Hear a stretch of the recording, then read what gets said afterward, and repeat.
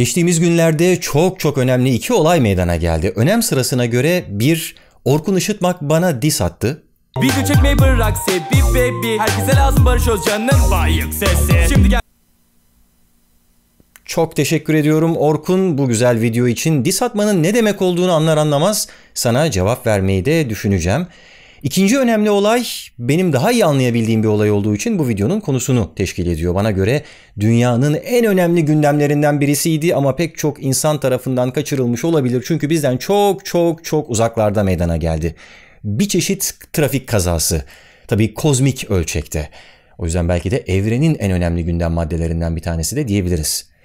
Ne oldu? İki yıldız çarpıştı. Daha doğrusu birleşti. Ve belki de bunun sonucunda bir kara delik ortaya çıktı.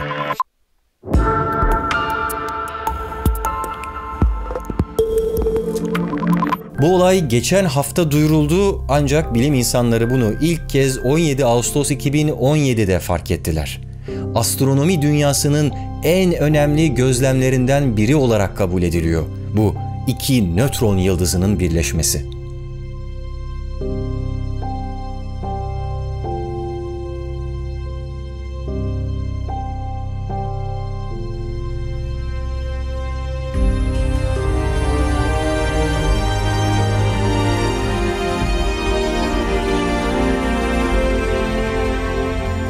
Peki nötron yıldızı ne demek?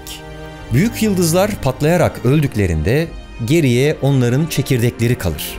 Bunlar 15-20 kilometre çapında yani yaklaşık bir şehir büyüklüğünde kütlesi çok yoğun yıldızlara dönüşürler.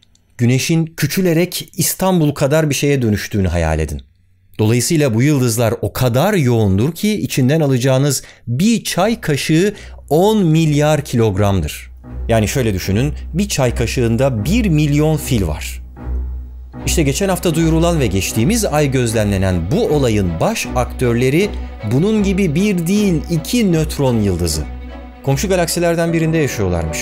Kozmik ölçek düşünüldüğünde bize çok da uzak sayılmayacak bir yerde, 130 milyon ışık yılı kadar uzaklıkta.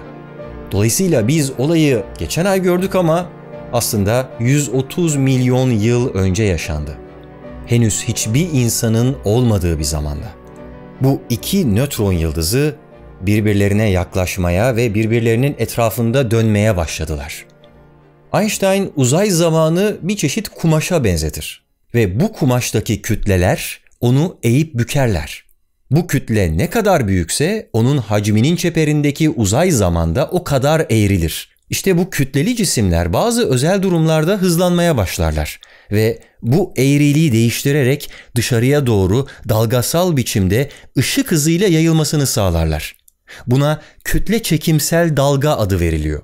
Bazı özel durumlarda hızlanan büyük kütleli cisimler dedim ya, işte komşu galaksideki iki nötron yıldızının birbirine yaklaşarak birbirlerinin etrafında dönmeye başlaması da işte tam da böyle bir özel durum. İki çocuğun bir trambolinde el ele tutuşup dönerek zıplamaya başladığını düşünün. Ne olur? O sıçrama bezi üzerinde dalgalar oluşmaya başlar değil mi? İşte çok yoğun bu iki yıldızda birbirlerine birkaç yüz kilometre kadar yaklaşarak büyük bir hızla dönmeye başladılar ve dolayısıyla uzay zamanda dalgalar oluşturmaya başladılar.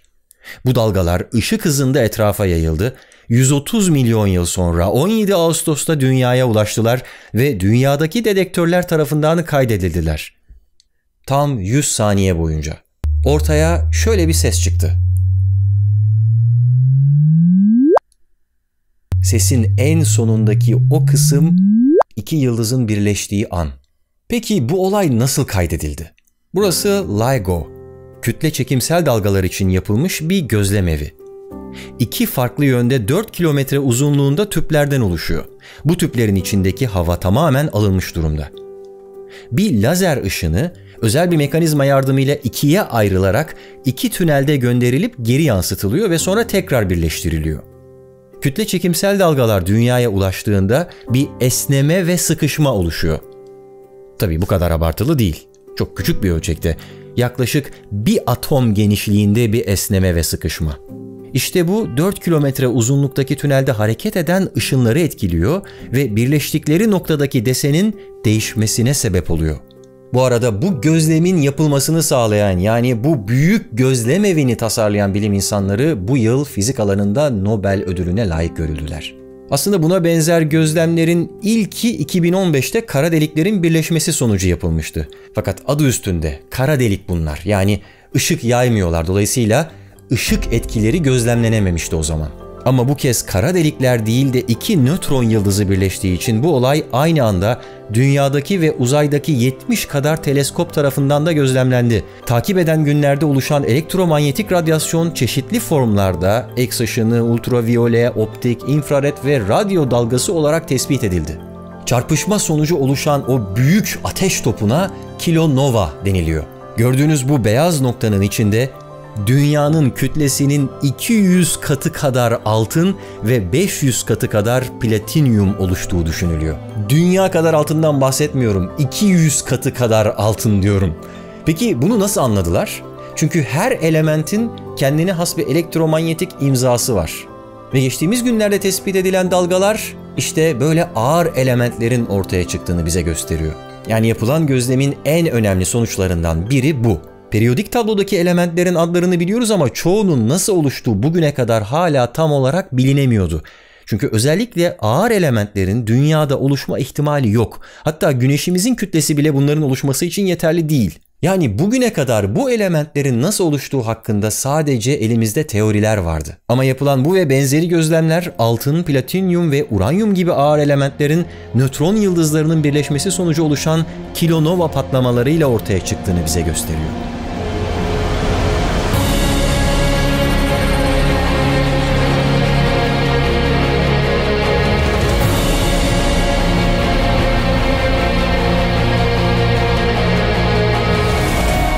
Hala açıklanamayan bazı soru işaretleri var.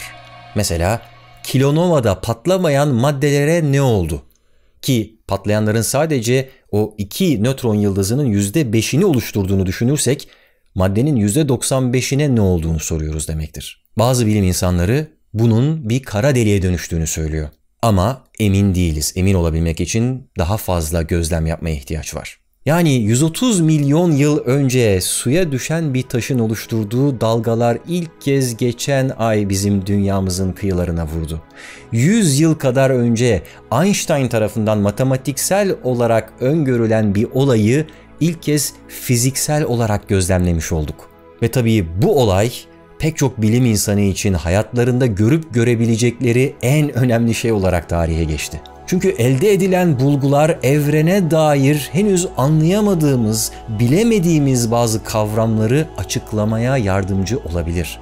Yani biz insanlar daha ortada yokken meydana gelmeye başlamış bir takım olayların sonuçları bugün biz sıradan hayatlarımızı yaşarken astronomide sessiz sedasız yeni bir çağı başlatıyor olabilir.